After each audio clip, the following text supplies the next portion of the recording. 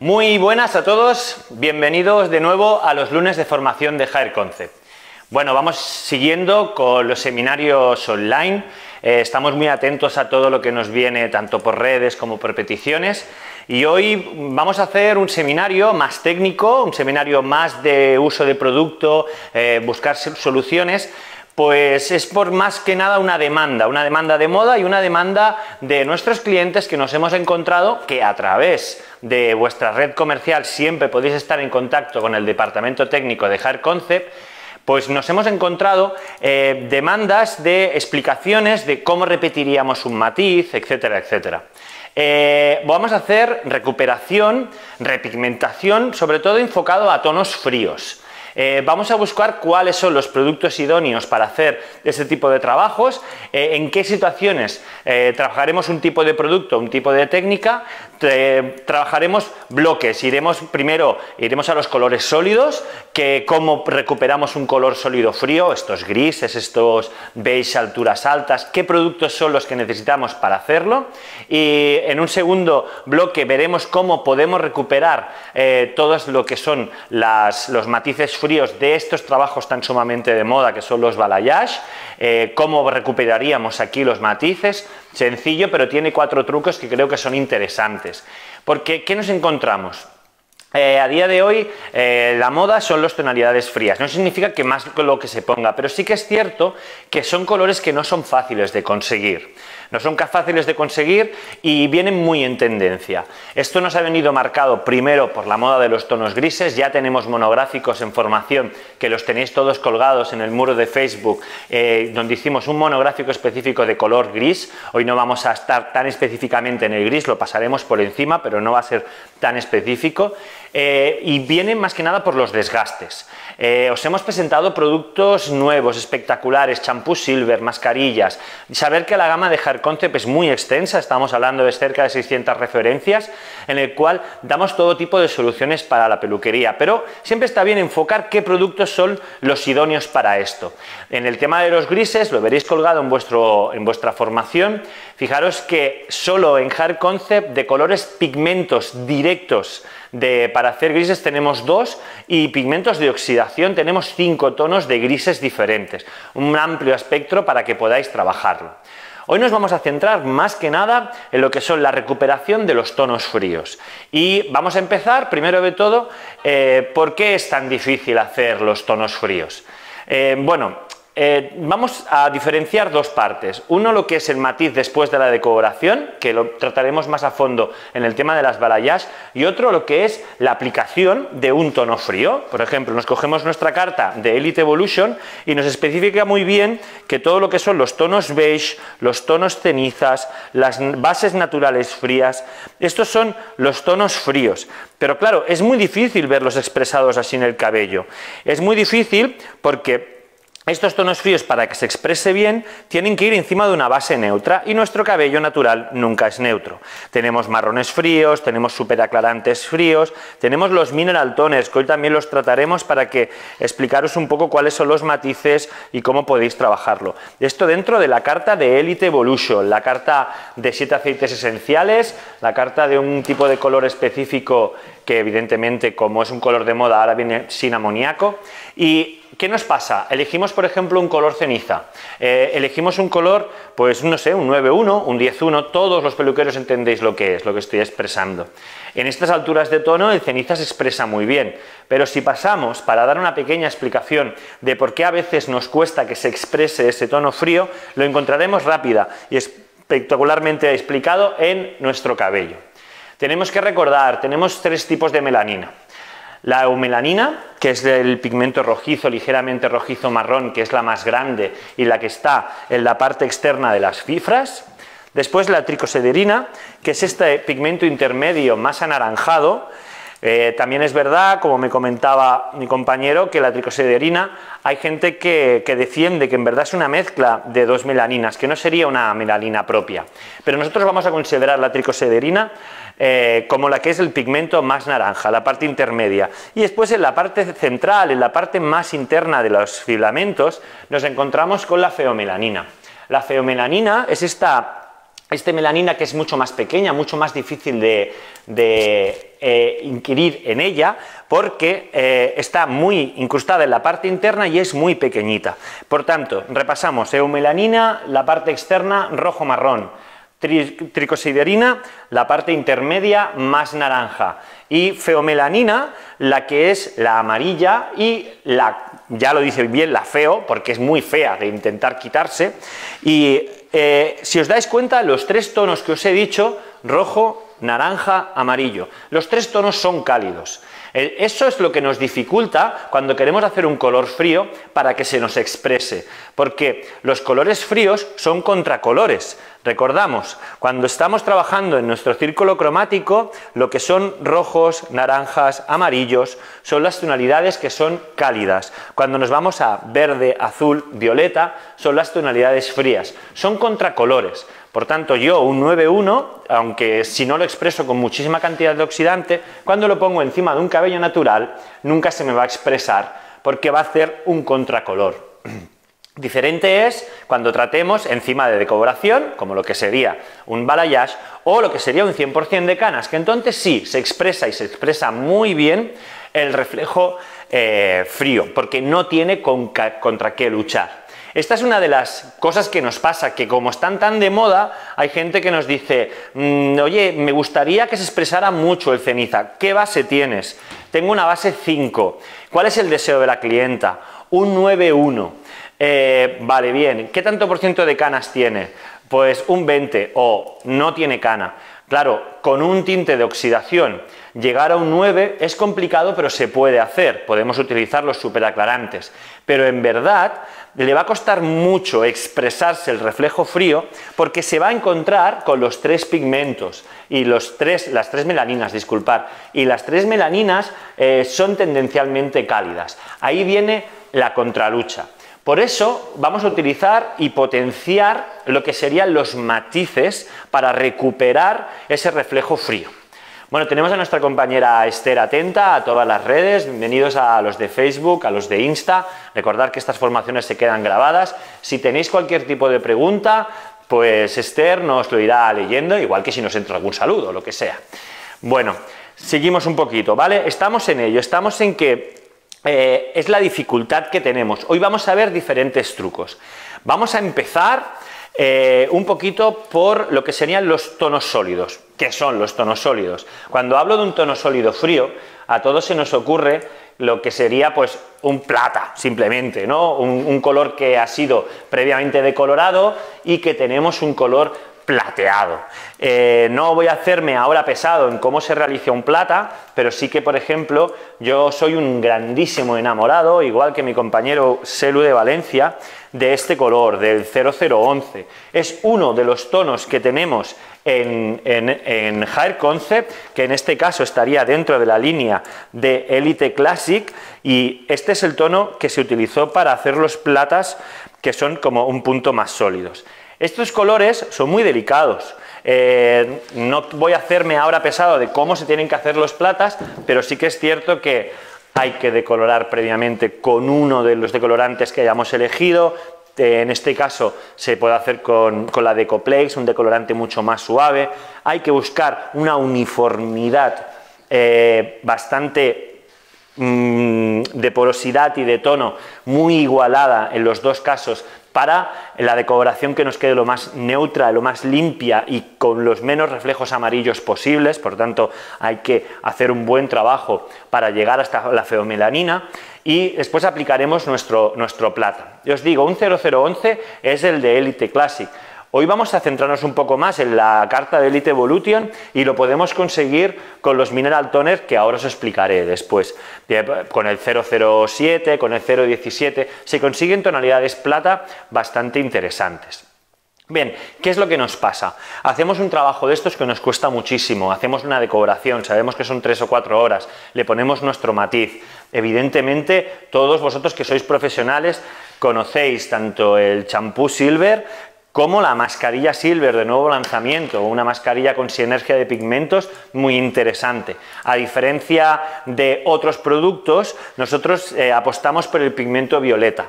Eh, en Hair Concept eh, siempre lo decimos, nosotros os damos un Porsche y decidir hasta dónde lo queréis apretar. Aquí te dejo un champú que tiene muchísima capacidad para matizar, muchísima, con pigmento violeta y el complemento perfecto de nutrición, hidratación con la Silver Mask. Hidrata, nutre y a la vez aporta ese punto de pigmento violeta. Teóricamente, este color, con el mantenimiento del champú y la mascarilla, tiene que ser suficiente. Pero hay gente que tiene otras características gente que hace muchísimo deporte, que se lo lava muy a menudo, gente que está tratando, haciendo otro tipo de tratamientos, que están, por ejemplo, con un champú de la caspa y es muy abrasivo y se va perdiendo ese pigmento. Y en ocasiones queremos volver a recuperar ese pigmento. Hay diferentes formas de hacerlo. Eh, la mayoría de casos, cuando estamos hablando, hablando de un cabello que está ya previamente decolorado, con el paso de los lavados puede perder intensidad. Si vuelven a nuestro salón es súper sencillo. Lo único que tenéis que tener en cuenta es que no podemos volver a repetir el mismo color que hayamos hecho igual de sólido. Si hemos hecho al 1 más 1 con 20 volúmenes para darle un poquito de integridad al pigmento y no diluirlo en exceso, ese pigmento ha cogido en el, el día de la decoración o con la decoración de muy poco tiempo hecha.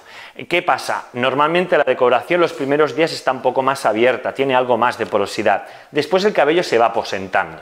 Si vienen a nuestro salón para repetir la matización de tonos fríos, tenemos que hacer un primer paso que es súper importante, súper importante. Hay que pasarla a lavacabezas. Primero hay que lavar en todos los casos. Podemos preguntar muy bien y siempre nos dirán que no llevan nada. Pero ¿qué pasa? Se están utilizando una parte de mascarillas sin aclarado, que algunas, no es el caso de como trabajamos en Hair Concept, que siempre trabajamos con siliconas solubles, que son las más ecológicas y las más sanas para el cabello. Algunas siliconas se cauterizan en el cabello y puede venir por gominas de gran superficie, puede venir por eh, mascarillas sin aclarado de una muy alta calidad y ese cabello se va cauterizando y depende de las zonas. Si no hacemos un previo lavado, eh, no sabemos qué resto de producto nos puede quedar dentro del cabello. Por tanto, lo primero que haremos es pasarla a lavar.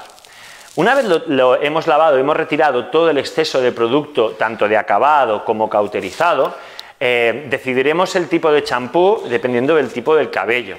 Eh, si vemos que realmente está muy cauterizado, podríamos podríamos utilizar un champú alcalino.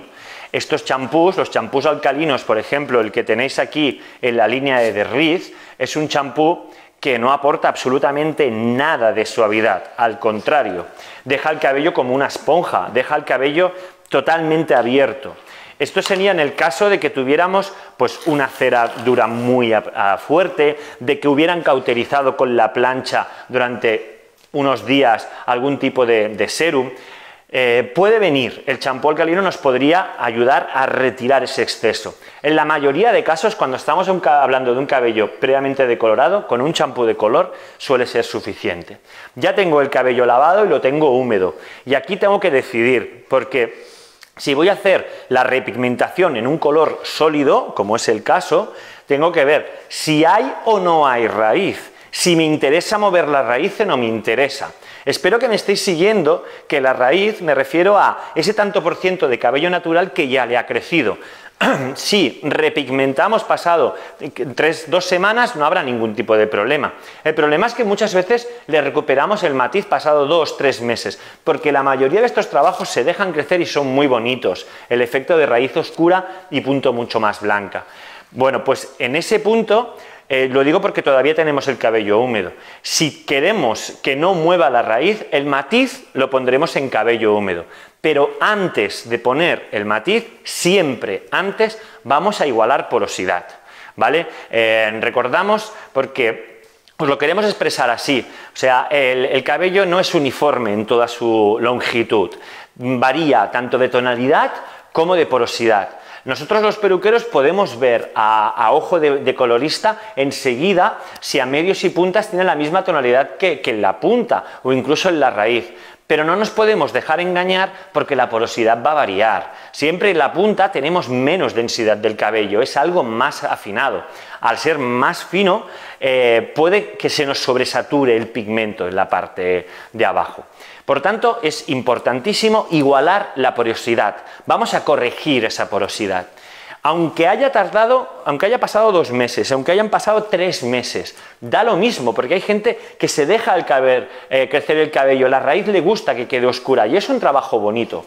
Siempre lavaremos y después utilizaremos el corrector de porosidad que disponemos dentro de la línea de Crystal K, ¿vale?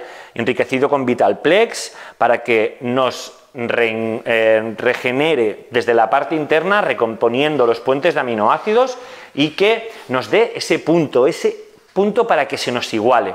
Lo explico de, la forma que yo me, entero mejor. Es como tener una madera manchada con humedad y con ligeros eh, manchas de barnices antiguos.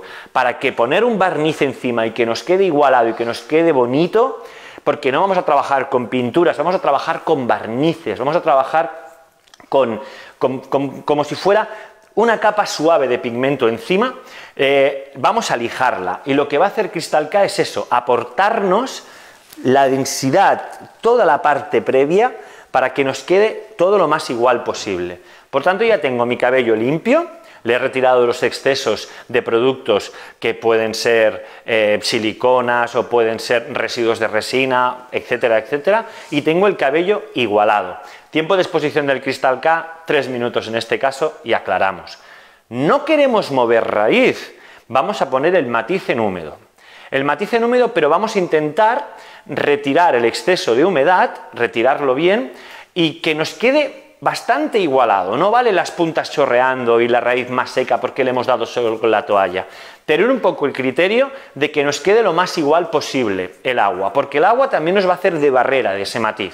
Y ahí es donde a veces nos llaman y nos comentan que los matices no les han quedado uniformes. Si la humedad no está uniforme en el cabello, y es mucho más difícil contra más largo es el cabello, no te va a quedar el trabajo uniforme porque el agua te va a diluir el pigmento que tú pongas encima.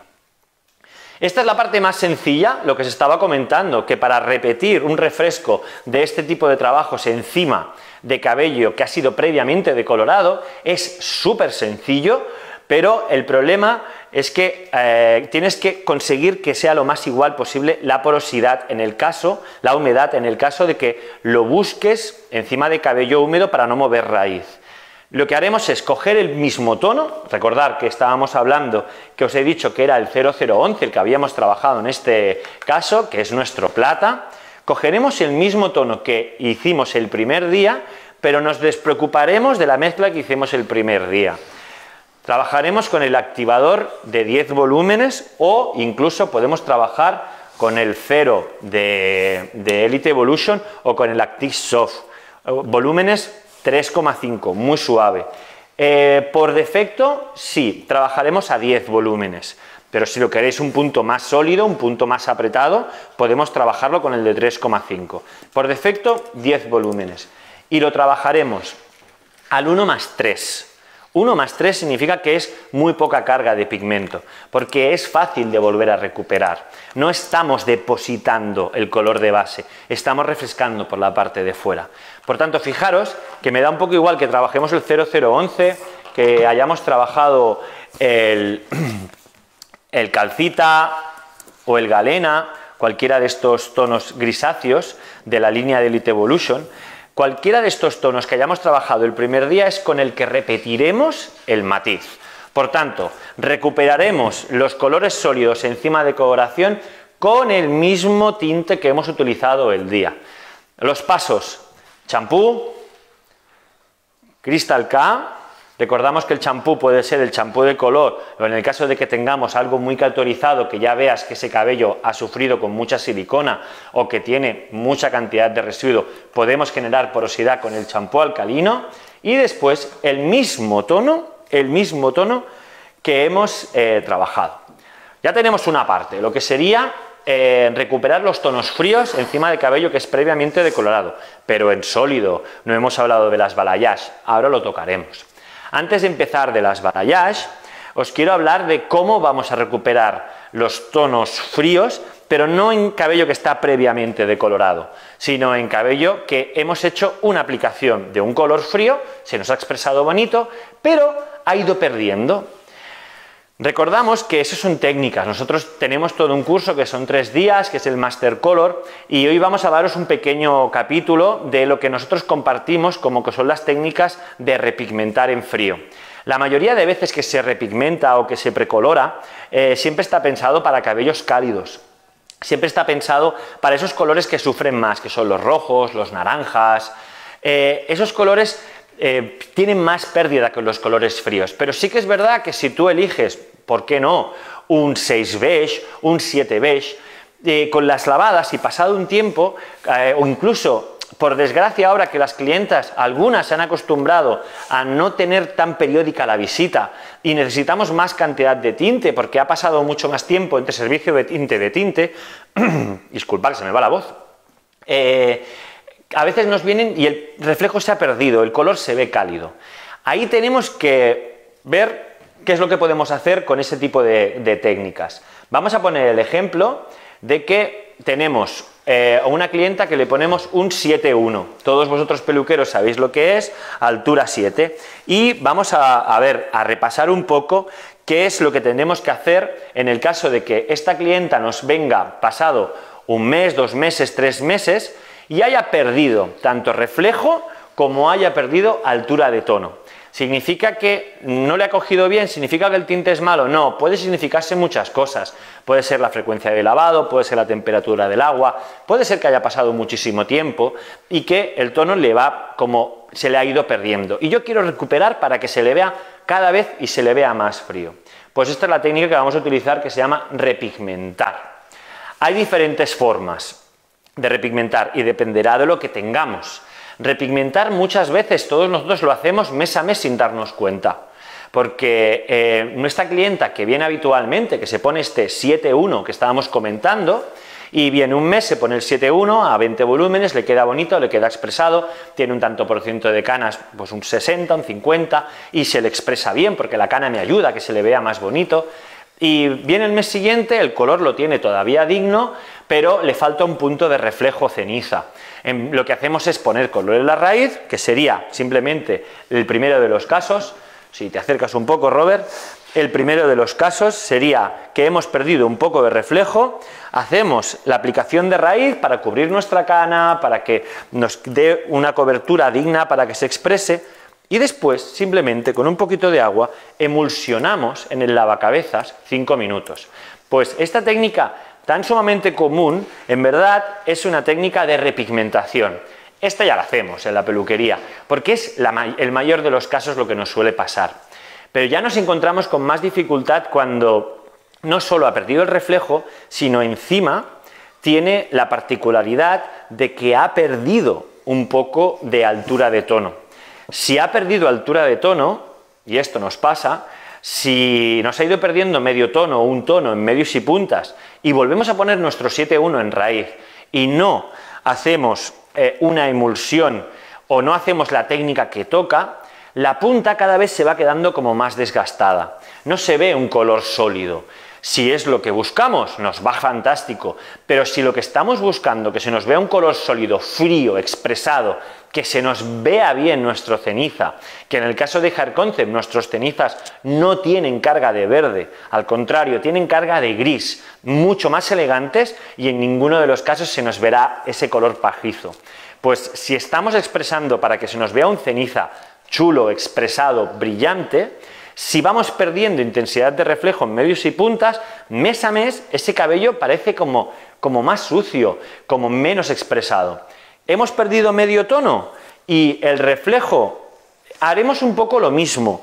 Primero dejaremos 20 minutos, 25 minutos en raíz para que nos dé cobertura, sin retirarlo de raíz, preparando producto en medios y puntas, desde eh, los largos, medios y puntas, pondremos producto fresco y pondremos 10 eh, minutos más de tiempo de exposición. Por tanto, fijaros, aquí ya tenemos los 30 minutos, 30-35 minutos que nos va a dar la cobertura. Otra vez lo mismo, ha pasado el tiempo de exposición, el que nosotros decidamos para la cobertura, recordar que la cobertura no la decide, eh, no la decide el tiempo de exposición, sino el oxidante elegido, a 20 volúmenes 35, y pasaremos a nuestro lavacabezas, emulsionamos. Con esos 10 minutos extra que le hemos dado de tiempo al tinte en medios y puntas, vais a conseguir que se recupere ese ceniza, ese ceniza se vuelva a expresar. ¿Vale? Entonces se verá más frío. Se nos dificulta un poco más cuando hemos perdido un tono, pero lo que haremos es eh, simplemente cuando hemos perdido un tono, no podemos esperar que con 10 minutos tenga suficiente para bajar ese tono. En colorimetría. Siempre nos han explicado nuestros químicos y nuestros maestros que eh, un tinte tiene capacidad para modificar para arriba 2-3 tonos y para abajo 2-3 tonos, pero no modifica por ciencia infusa ni porque no esté tocando el producto, modifica porque hemos puesto. Si has perdido en medios y puntas, si tú quieres otra vez este 7-1 todo sólido, pero en cambio en la punta ya tienes un 8, y es demasiado rubio, lo que hay que hacer es pasar directamente el color, raíces, medios y puntas, todo un global. Cuando lo haces todo un global, con el tiempo de exposición, pasa el tiempo de exposición y ya solo tienes que volver a emulsionar para despertar todos los pigmentos y es que se dé ese plus de brillo. Aquí eh, nos hemos encontrado el caso de cuando hemos perdido un tono. Dos tonos o más ya no valen estas técnicas, porque un tinte tiene capacidad para oscurecer con designación y con el carácter propio de lo que estemos eligiendo, el beige, el ceniza, el irisé, cualquiera de los tonos que hayamos elegido, eh, si lo obligamos a que oscurezca más de dos tonos, no se nos va a expresar con toda, con toda la magnitud. ¿Vale? No se nos va a expresar con toda la magnitud, porque lo que va a pasar es que eh, se nos va a quedar como más Em, como más opaco, se va a sobresaturar el color. Y esto lo habéis visto vosotros muchas veces. Todos los que somos peluqueros, en algunas ocasiones incluso poniendo baños de color, simplemente colores que con volúmenes muy bajos, oxidantes muy neutros, a veces lo hemos puesto y vamos al lavacabezas a retirar y cuando lo estás retirando lo ves como negrito, lo ves como, como opaco. ¿Qué es lo que ha pasado? Se ha sobresaturado. Si yo obligo al tinte a que oscurezca más de dos tonos, me los va a oscurecer. Pero a lo mejor ya no se expresa también el reflejo ceniza, porque son más delicados. Si lo voy a hacer con un rojo, el rojo se va a ver, porque es como más expresado, más potente, se puede ayudar de las melaninas naturales. Pero los tonos fríos es lo que tiene, que cuando lo oscureces mucho, se empiezan a ver más, más, más opacos. Para eso vamos a utilizar la técnica de la repigmentación. Eh, recordar, esto sí que ya es del Master Color, pero recordar, repigmentar es utilizar una base de color, una base de color antes de empezar a hacer ese trabajo. En el caso de que hayamos perdido más de dos tonos, cogeremos nuestro, eh, haremos una repigmentación. ¿Cómo se repigmenta? En el caso que estamos hablando, ¿eh? en el caso de un 6.1, un 7.1, un 8.1, porque se nos ha ido del 8 se nos ha ido al 10 o del 7 se nos ha ido un 9, porque ha perdido mucho la punta, porque es muy porosa o porque tiene poca densidad o porque le cuesta mucho de coger el pigmento o porque se ha lavado muchísimo. Vale, pues lo que haríamos es repigmentar. Cogeríamos un dorado por una base por encima del tono, por tanto si es un 7.1 cogeríamos un 8.3, muy suave, muy suave, lo trabajaríamos con oxidante al 1 más 2 y daríamos una pequeña capa al cabello, mm, acariciando simplemente, haciendo una repigmentación muy suave. Dejaríamos 10 minutos y retiraríamos toda esa cantidad de base de prepigmento que le hemos puesto. ¿Por qué un dorado? Diréis, no, no se va a expresar, no tiene fuerza. Es para que le dé la base de color. Diréis, pero David, ¿y por qué no le ponemos una base? Bueno, porque las bases tienen los tres colores. Y el problema es que si la base ya es tendencialmente fría, aunque sean cálidas, como podemos trabajar en Elite Evolution, que tenéis dos tipos de base, tenéis las bases cálidas, las bases frías.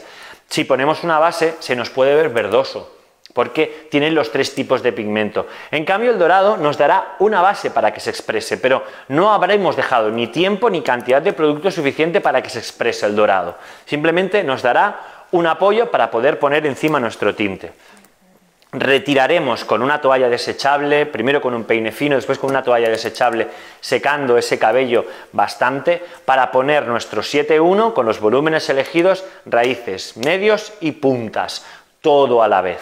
35 minutos de tiempo de exposición, emulsionamos y veréis que hemos conseguido que con la repigmentación tenga toda una base para que ese color se exprese.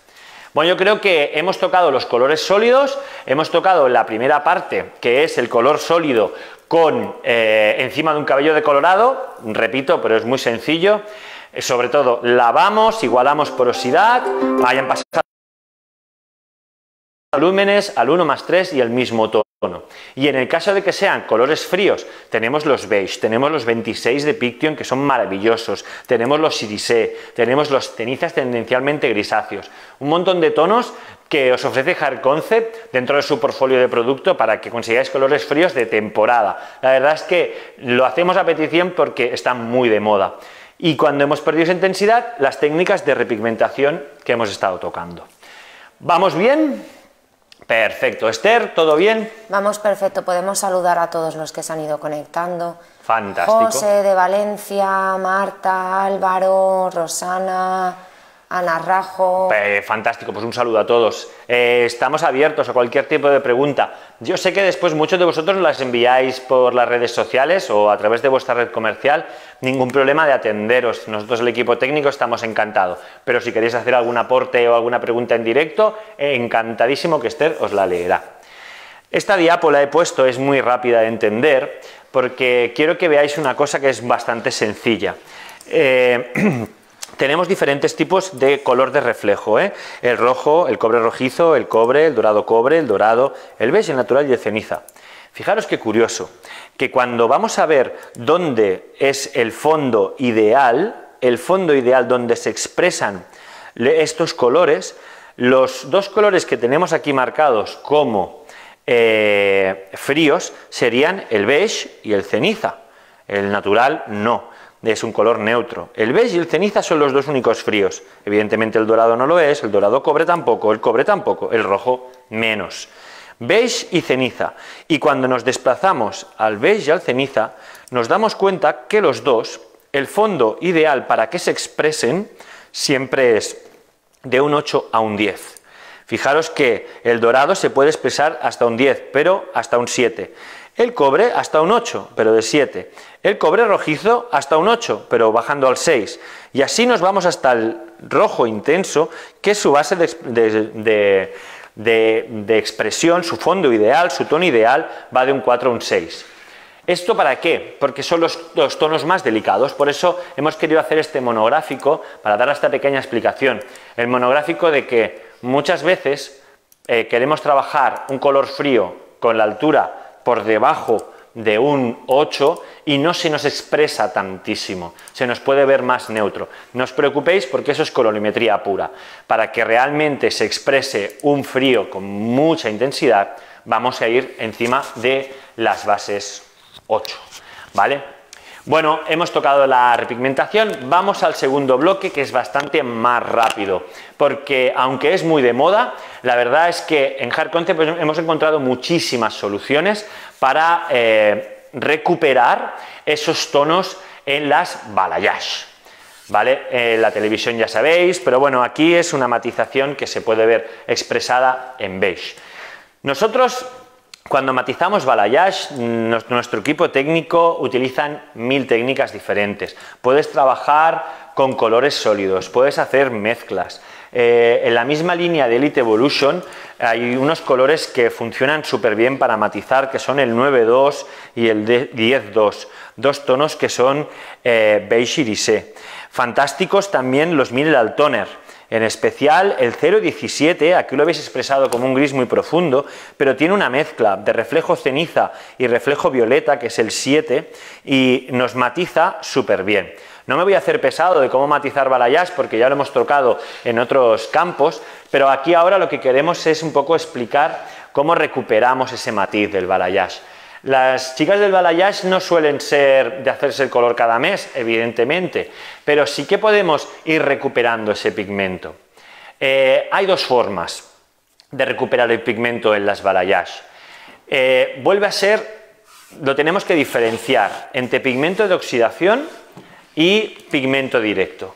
Nosotros en Jarconce como pigmento directo tenemos la línea de Piction 3D con extracto de maracuyá y un extracto de polvo de diamante que le aporta un brillo excepcional el color frío que tenemos por, antonomasia es el negro, que en verdad es un gris oscuro, que nos permite ah, manchar todo el cabello y solo se expresará solo donde encuentre más porosidad.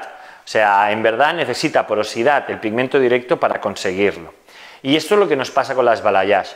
Cualquier chica que le hayamos hecho, chica, señora, quien sea, cualquier clienta que le hayamos hecho, porque chicos también se pueden hacer, le hayamos hecho un balayage, eh, vamos a, el primer paso siempre va a ser el mismo, lavar.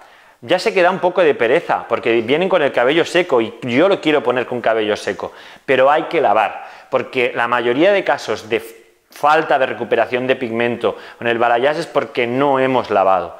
Y aquí, si vamos a elegir que vamos a trabajarlo con pigmento directo, que tanto puede ser la línea de Piction 3D, como simplemente queremos matizar con el champú Silver o con la nueva mascarilla Silver, aquí sí que podemos generar porosidad si nos apetece. Y aquí sí que, si vamos a ir con pigmento directo, el champú alcalino, recordar que genera porosidad, deja el cabello áspero, pero genera mucha porosidad. Y el pigmento, el pigmento directo Contra más porosidad encuentre, más se va a expresar. El pigmento directo, la gran ventaja que tiene es que no tienes que preocuparte por la raíz. Sea teñida o sea, o sea natural, el pigmento directo no te la va a mover, no va a, ser, no va a tener capacidad para aclarar. Por tanto, si hemos elegido un pigmento directo, siempre va a ser mucho más sencillo. Y esto es la técnica más habitual que se utiliza en balayage, pigmento directo para recuperar. Pero el día que hemos hecho el balayage, muchos de vosotros habéis utilizado pigmento de oxidación, con pequeñas mezclas, ¿no?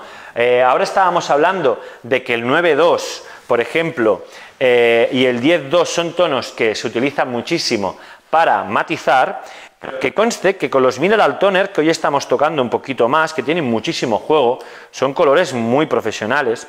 Por ejemplo, el 007 se la, puede aportar una pequeña cantidad, para que me entendáis, no llegaría ni a un 5% de la mezcla total, pero este 007 nos potencia la línea de los beige de Elite Evolution haciendo estas mezclas para que nos quede un matiz más como el que vemos en televisión, como que quede un punto beige pero algo más rosado. Espero que se esté viendo bien, aunque ya sé que las pantallas los colores no se expresan, pero espero que se esté viendo bien. Eh, aquí cuando queremos hacer con pigmento directo, tenéis que recordar que no hay problema porque la raíz no la va a mover. El problema es si quiero repetir ese pigmento y lo quiero hacer con pigmento de oxidación. Aquí sí que tengo algún que otro problema. Me da igual si he utilizado los antiamarillos o me he hecho una mezcla pues con el 10.2, con el 007, incluso mucha gente le pone un poquito, una pequeña cantidad, un 5% de marrones fríos para que le dé un poco de base, el matiz. Pero bueno, estas son mezclas que si queréis otro día lo hacemos un poco más en profundidad, hacemos mechas y vemos resultados en general. Aquí el problema es que si voy con pigmento de oxidación, siempre tengo que ir o con siempre volúmenes muy bajos, eso es evidente, y después el miedo de que me mueva un poco la raíz. Pues eh, hay un pequeño truco que nos compartió Lola y se ha estado probando y la verdad que funciona muy bien, es solo humedecer la raíz. Solo el crecimiento que no queremos que nos toque lo empapamos bien de agua y después eh, secamos el resto del cabello. ¿Esto cómo lo conseguimos? simplemente es, tú lavas previamente, retiras todo el exceso de producto, generas un punto de porosidad si quieres pigmento directo, si no quieres pigmento directo, igualamos la porosidad con una punta de mascarilla o con cristal K, porque vamos a igualar para que nos quede el pigmento de oxidación lo más lineal posible, y una vez ha pasado eh, los tres minutos de tiempo de exposición del cristal K, aclaramos y ponemos nuestra mezcla.